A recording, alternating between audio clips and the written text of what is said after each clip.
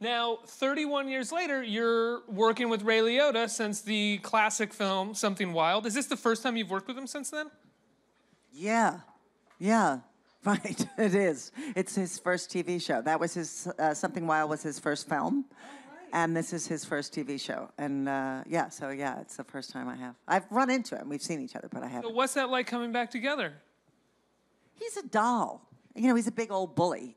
I mean, everyone thinks he is, but he's not. He's a really, he's kind of a pussycat, and he's, I think he's just delicious in this. I think he's just drunk enough. I think he's just angry enough. I think he's just violent enough. I think he's, uh, and Similar funny. to Something Wild, right? Similar to something wild. Yeah, yeah. And um, I can't say that my character is overwritten because it's not. So uh, we're putting, we're making it up as I'm making it up as I go along. So it's really great to have a um, relationship with him from the past um, because I'm, you know, we're drawing on it, and uh, it's very safe to work with him because because we do have that history, and he is really easy to act with for me. He's really easy to act with. because of that history, or just because you have similar, uh, you have similar ways that you act?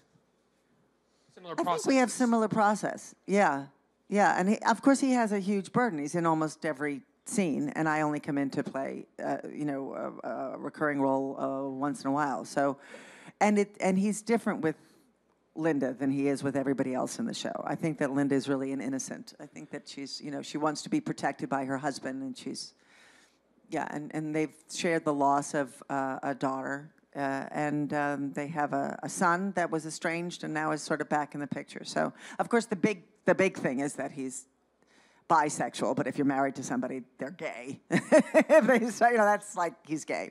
So that was the first thing I got to play was not knowing that my husband was having an affair with a man.